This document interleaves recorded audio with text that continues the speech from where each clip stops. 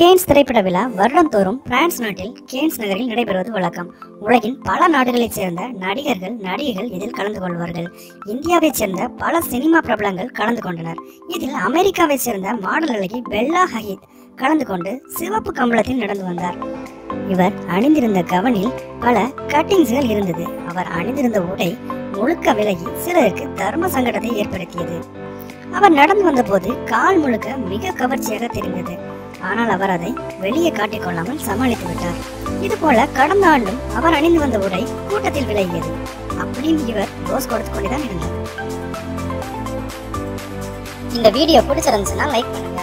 உங்க ஃப்ரெண்ட்ஸுக்கு ஷேர் பண்ணுங்க மேலும் மேலும் இது போன்ற சுவையான வீடியோக்களை நீங்க தெரிஞ்சுக்கணுமா? இப்பவே எங்க நியூஸ் சேனலுக்கு சப்ஸ்கிரைப் பண்ணுங்க.